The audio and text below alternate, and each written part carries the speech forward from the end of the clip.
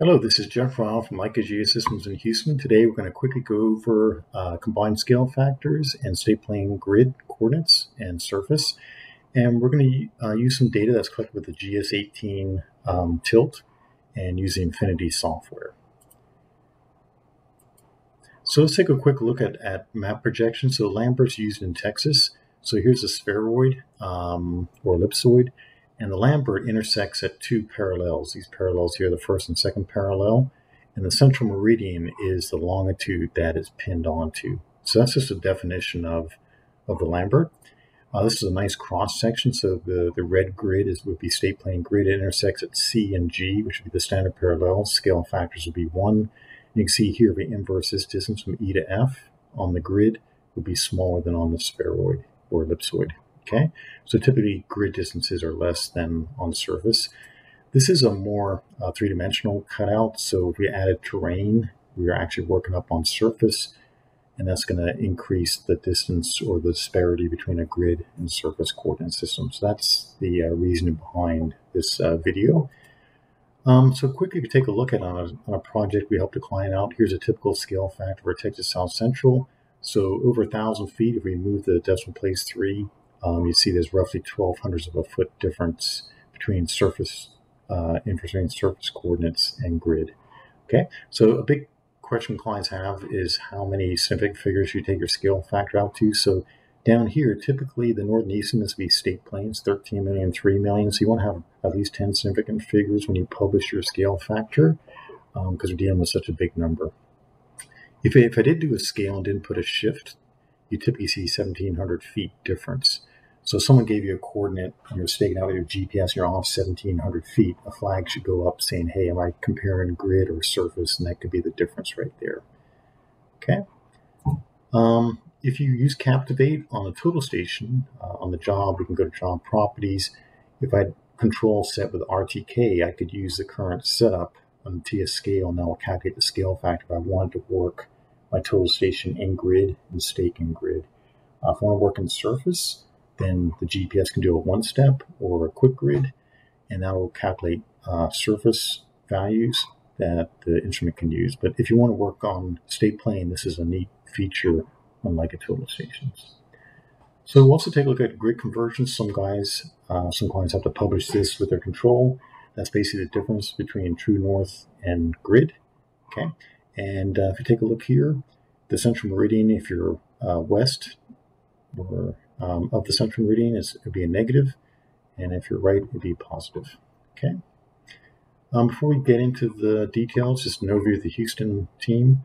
Uh, I'm Jeff, so I handle technical sales. Here's my information of full service facilities. So Ronald can be contacted if you need service. And then Meredith and Lorraine are a support team out in California that order parts and, and rentals and, and customer service. All right, so let's take a look at the Infinity software.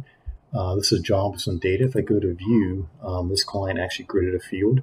What's really neat is you got a background map. Uh, if you keep your uh, firmware current with a CCP or customer care package, you can click on this button. You have a, a background map. It's very subtle, but you can see what's going on to make sure. It's just great to QC your data, make sure everything's picked up and show where the data is. It's probably you know within a, a one or two feet. Very very accurate and very useful. Um, let's take a quick look at the data. I'll go over some, some quick tips. So with the 18, these are greens. It's got tilt. And basically, uh, we can sort by point ID. Let's imagine that um, the client had, the field crew had the wrong codes from 7 to 13. I can just highlight, hit shift, edit code, and I can pick the proper code and edit it that fast. If they have the wrong antenna height, there's a GNSS tab, and um, I can quickly highlight the points. So you can sort by points. And um, what I can do is scroll over and you can customize where you see this data. So I'm just going to edit this stuff, the, the antenna heights. Let, let, me simulate that they made a mistake. So I'll change the rod height to zero. So if they had this in the field and they, they made a note of the wrong rod heights, I could highlight this, right click, edit, and put in the right height. And because this is a tilt, um, it will use the tilt values to um, recompute your vertical and your horizontal coordinates. That's that's a really nice feature.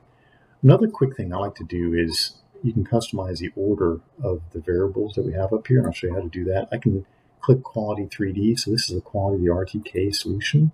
And if I just double click, I can sort, and this point was off by like a foot. So I can quickly catch this, look at the code, and see if that's acceptable. That's a quick way to QC your data.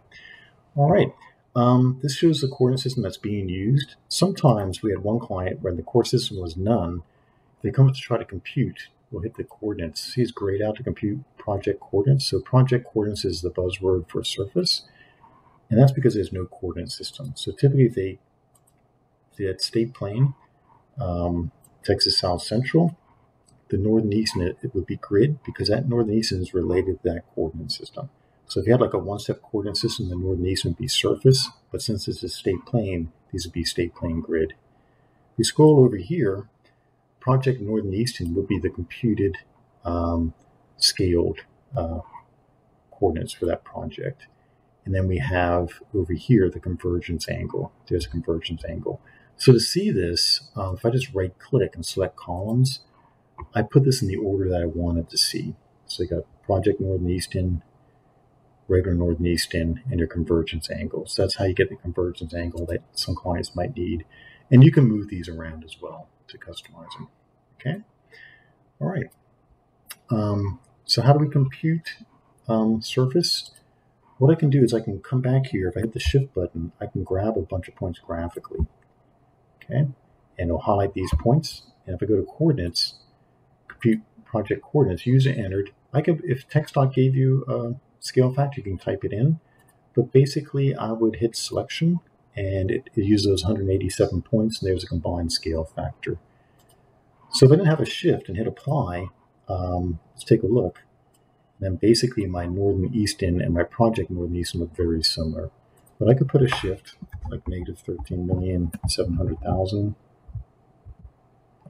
Then maybe a negative 3,100,000 and hit apply. And what that'll do is just shift those coordinates. So if I export them, they won't get confused. It looks more like a local coordinate if I'm going to furnish this to a uh, subcontractor. Okay.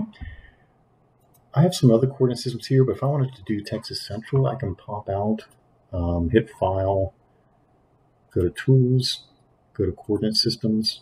Then under Manager, if I want to attach another coordinate system, I can scroll down. There's Texas Central, copy that to the project. And once I do that, that coordinate system hit the home key would now be available. So down here I can change it if I want to see that on Texas Central. So that's a neat feature to, to toggle between the two. Okay. All right. Um, so for convergence angle, um, everything's listed here. I could technically hit Control A, right click, save as a CSV, and all this information be exported. Uh, and be exported in the, in the, format that I set up here, uh, the order. But I can also hit export, uh, hit all my data. And then what I want to do is click down here and hit ASCII. And I've got a template set up. So if I come here, we can edit that information, the template. And now I have Eastern, so I'd be state plane grid. And we have the codes. So if I sort by point ID, if I hit feature, it allows me to edit and I can come down here and customize what I want to edit. Some of these points have attributes, so I've got V1, V2, V3 to, to merge those attributes together and then I've got to be under feature to edit that. So I'll hit OK, and then we'll hit export. So I'll call this uh, 1, 2, 3, 4, 5, Texas South Central, Geoid 18, grid. Okay, then we'll export that data. If I want to surface, once these, so you can see once these templates are set up, it's very fast to export data. So I'll come back and hit ASCII. And in this case, I got a surface template, so let's edit that real fast. I call that something that makes sense. So once again, I got Project Northern Eastern. Select columns, that's how I customize it. Point ID, and you scroll down and you pick the order that you want, and then you can move these up or down uh, to customize them. So basically, once we hit OK, and I'll call this job number 45, surface. Okay, and then we'll hit export. So now I can um, come down under the archive. I can right click open and take a look at at this data. So basically here's my point ID, Northern Eastern. height, here's my code. And now with these iron rods, with the attributes that these attributes, you know, spinner, capped, and the RPLS numbers are now attached to that code when we import into our CAD. So that's just a quick overview on how to export your data. If you, let's say it's a couple months down the road, you, you forgot what the scale factor is, I can come back, highlight that project, and go to Info and Settings, and under Coordinate tab, you'll see the scale factor right down here, the combined scale factor. I can highlight that, right-click copy, and then put that in the email. Okay, so that's a quick overview of Infinity with some RTK data and how we can calculate surface and grid and convergence angles. And um, so hopefully you found that beneficial and helpful. And uh, if you have any questions, just feel free to reach out to us. Uh, once again, this is Jeff from Leica in Houston, and uh, I can be reached at 713 516 5446. We can help you with any of your survey needs. Thanks for your attention. Be safe and stay well.